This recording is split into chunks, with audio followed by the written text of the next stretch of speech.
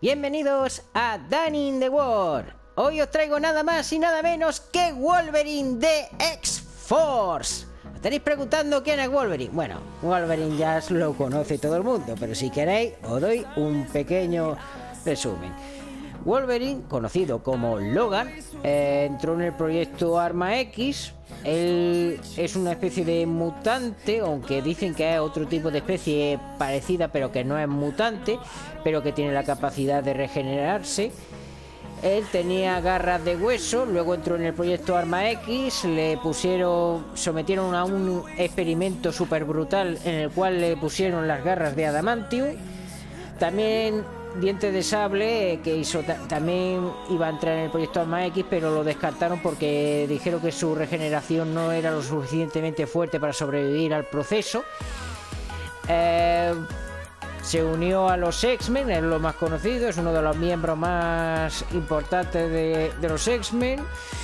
Eh, luego el proyecto Arma X extrajo ADN y creó a X-23.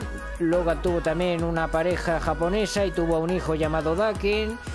Y participó en muchos eventos, por ejemplo en Días del Futuro Pasado, eh, Apocalipsis, bueno, sí, otro futuro alterno que cambió después del futuro del día pasado. Eh, en, serio, nunca se les dan bien cambiar bien las líneas temporales. Bueno, y, no olvidemos también la saga del Fénix Oscuro, que fue una caca en la primera versión como en la siguiente. también eh, lo, de X-Force fue nombrado en Deadpool 2, pero Ryan Reynolds tiene un sentido del humor increíble. Eh, eh, hizo una parodia más bien. Bueno, dicho esto, comenzamos con el arma y estilo de Wolverine. El arma y estilo de Wolverine que he escogido es Stalin. Sé lo que me vaya a decir. Pero tío, ¿por qué no le has puesto bordo? Podéis ponerle bordo. Lo que pasa es que tiene más similitudes en combate el estilo de Talin que el de bordo. Por eso lo he puesto así. Le he puesto salvaje.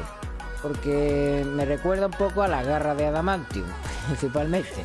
Efectos de cómic y normal. Cuerpo. Metamorfoseador. ¿Por qué? Fácil. Porque necesitaba hacer un efecto que fuera brillante de la capucha y por eso he usado metamorfoseador. He puesto algo alto y fornido, aquí con algunas modificaciones. Rostro de hombre 4 y voz salvaje de mediana edad. Equipo. Entre el equipo, mallas de goma, pantalones de estratega, cinturón de cuero, langao jualín, espaldares de acero, botas altas de ingeniero, orejas de conejo, bigote de Hihachi y bigote de Hihachi. Os estaréis preguntando para qué he usado los tres accesorios. El primero es fácil de reconocer. Es para hacer la antena de la máscara de Wolverine, como podéis ver aquí.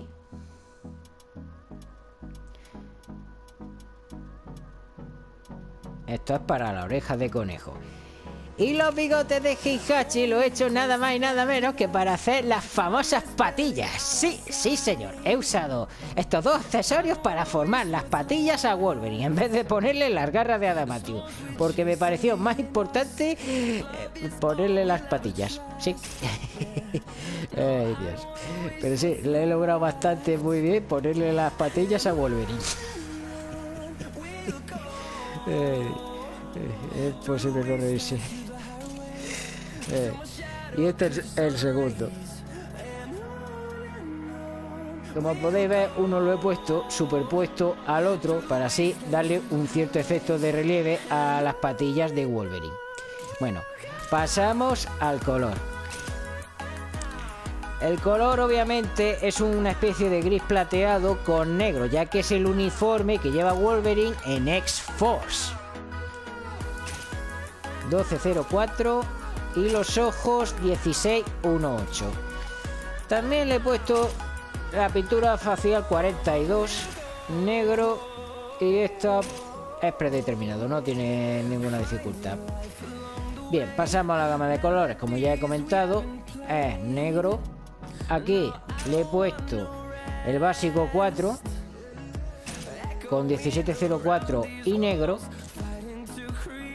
Esto para la parte de los pantalones, me refiero, es que estoy en la parte de los pantalones. Y aquí 1704, 1404. Es que aquí hay que, hay que jugar un poco con las tonalidades. Luego para la parte del cinturón le he puesto el básico 3, le he puesto 1704 y el negro. Luego la hebilla 1704, no tiene pérdida. Los guantes de color negro. Eh, también quería ponerle los en los guantes una especie de marcas que lleva en la palma, bueno, en la palma no, en la parte superior de la mano, que es donde estaban las garras, pero como lleva las otras armas no se le veían, así que lo he descartado, pero es que me he usado muchas pegatinas y no me ha quedado espacio. Los guantes totalmente negros. Eso que veis ahí es que es una pegatina. La hombrera también de color negro. Las botas también de color negro. Las antenas, bueno, de conejo para formar los cuernos que lleva Wolverine en la máscara. De color negro también. Y las patillas son 054. Y 054.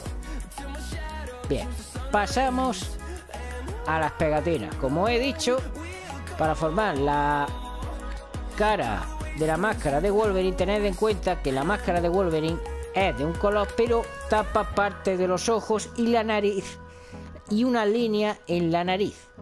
Para hacer este efecto se requiere hacer esto. Primero, diseño 54, negro y negro, en la cabeza, con esta descripción.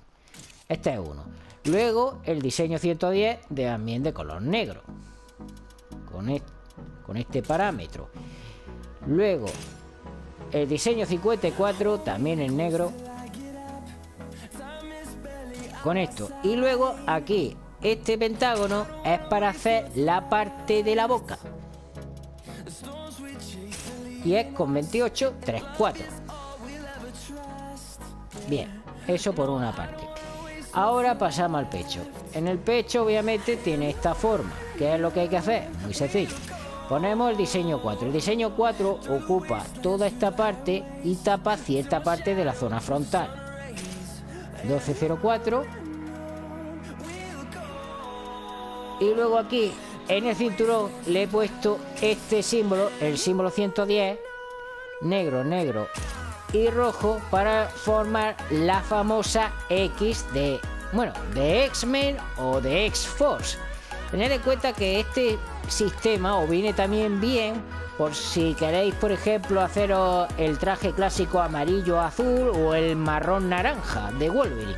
Es que a mí me gusta más el uniforme de X-Force, pero vosotros podéis hacer también otro. Solo lo digo como dato de dato de interés. Bien. Ella aquí, obviamente, esto lo he puesto con el diseño 3. Le he puesto 27, 3, 4 en el brazo izquierdo. Y en el brazo izquierdo. Tened en cuenta que esto cuando lo ponéis se pone en ambos sitios, así que no tiene problema. Lo que pasa es que he puesto dos porque era para tapar una línea que había ahí que no me gustaba como quedaba. Bueno, pasamos a la arma. La arma, obviamente, blanco, blanco, negro y rojo. Bien.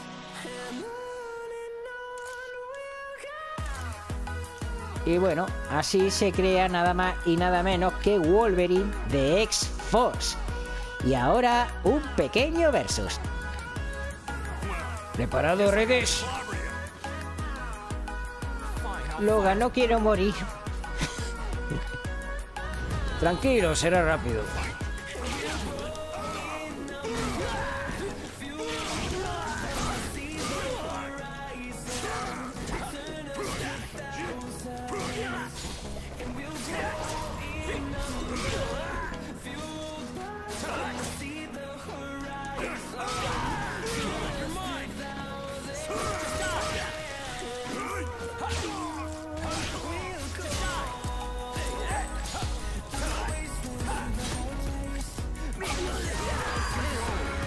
Y fin del combate.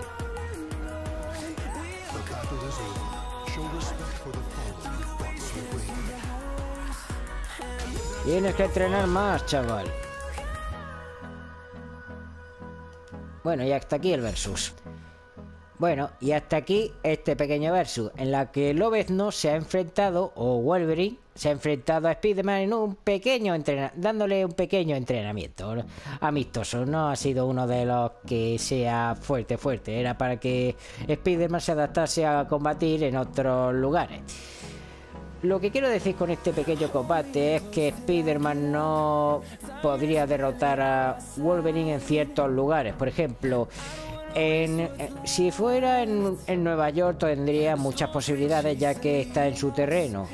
Eh, puede columpiarse, puede utilizar las telarañas y puede utilizar la gravedad y, y, su sentido arácnido. En el desierto tiene diversas dificultades debido a que es un terreno llano, no tiene donde columpiarse, hace calor y no tiene tanta resistencia. Wolverine en cambio sí que tiene mucha más resistencia y se regenera bueno, en pocas palabras, no tendría muchas posibilidades contra Wolverine en un desierto. Y bueno, hasta que llega cómo crear a Wolverine de X-Force. Si queréis que cree alguna cosilla, ponémelo en la lista de comentarios. Y yo también crearé cosas cuando tenga tiempo libre. Y bueno, esto ha sido todo. Si os ha gustado el vídeo, dale un buen pedazo de like y suscribíos a Dan in the World. Hasta pronto.